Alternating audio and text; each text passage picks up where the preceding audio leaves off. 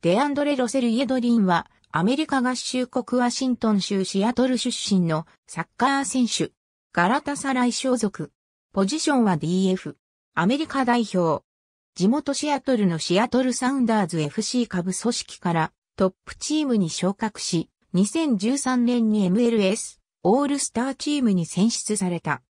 2014FIFA ワールドカップでのプレーが評価され、セリエ A の AS ローマとプレミアリーグのトッテナムホットスパー FC が獲得に名乗りを上げ、同年8月13日にトッテナムへの移籍が発表された。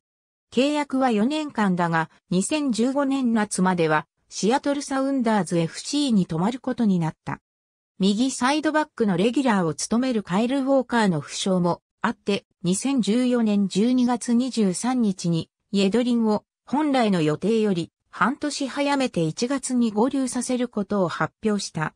2015年9月1日、サンダーランド AFC へレンタル移籍を果たした。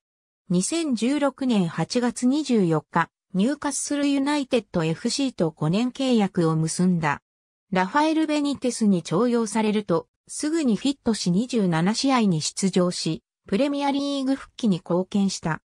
2018年12月9日のウルバーハンプトン、ワンダラーズ FC 戦で退場処分となったが、この件に関してベニテスは、審判が厳しすぎだと非難している。2021年2月1日、ガラタサライに2年半の契約で移籍した。